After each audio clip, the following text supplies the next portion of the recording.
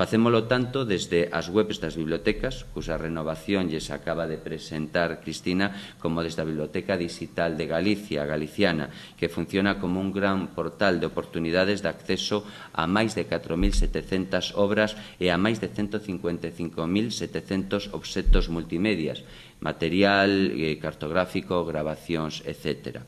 1,4 millóns de imaxes postos á disposición do desenvolvemento cultural e o crecemento persoal e colectivo de todas as galegas e galegos. Non en balde, todos os esforzos feitos levanos a ser hoxe o segundo proveedor de datos de Hispania, só por detrás do que é a Biblioteca da Prensa Histórica do Ministerio de Educación, Cultura e Deporte.